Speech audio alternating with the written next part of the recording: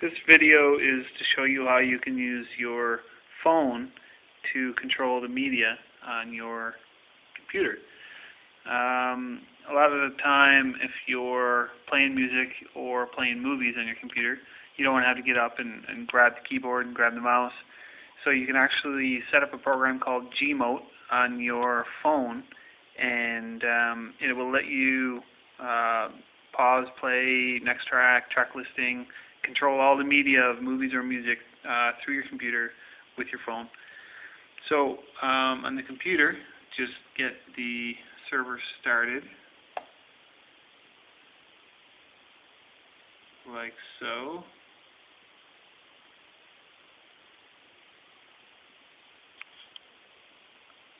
So that's running. And now we need to connect to the server on our phone. So choose Gmote right here.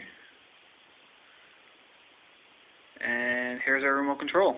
So um, if we want to connect, go to the menu, find server. Here's our server right there that I set up earlier. Connect. So now I'm connected. And I want to browse.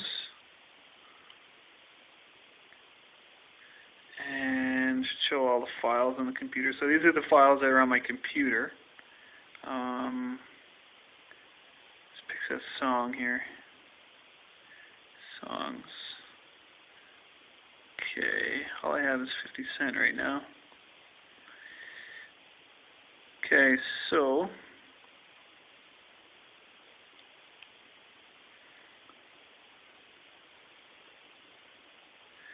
Okay, so Right here I've chosen to play it on the computer at the top. And then at the bottom here I just pick the song I want to play. So it plays through the computer.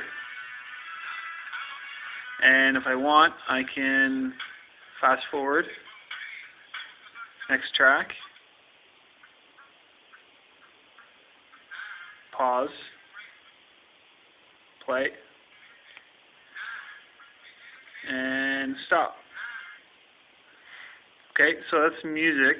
Um, say I wanted to actually play it through my phone. If I'm out around, I want to play through the phone instead of through the computer.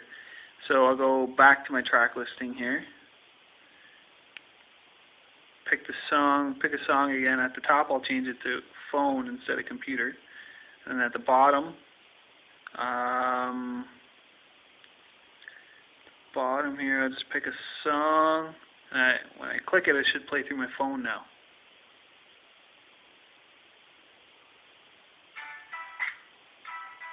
There we go, so it's playing on the phone.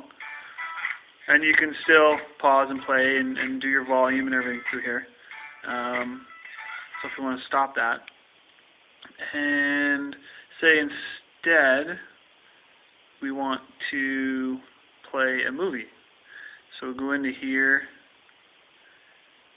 find a movie here. Um, okay, so we'll pick Office Space.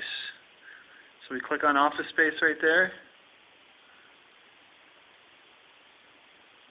And up it comes.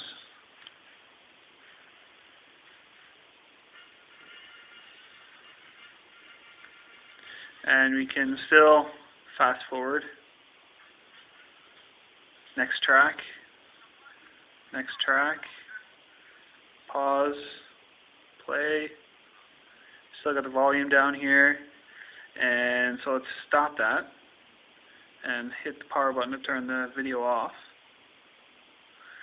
And then the last thing is um, it's a remote touchpad as well. So if we go to the menu down here and then go to touchpad, now my phone is a mouse touchpad for my computer, so if I move my thumb around here, you should see the mouse moving on the screen with it. So there you go, left and right, up and down, all around. So you can go all around your computer screen and use your computer with your phone. Um, if you want to select something, you just click on your tap on your phone and select it. Um, so let's open up the internet here. So I tap on it.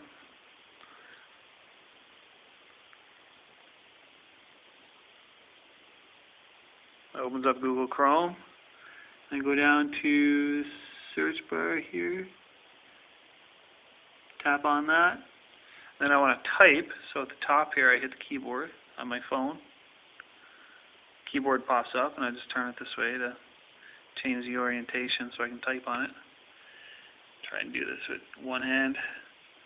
So then I type in, say I want to search for the program I'm using, Gmote. G-M-O-T-E. So then it comes up on the screen there. And then on my phone I just hit enter. And then it brings me search results.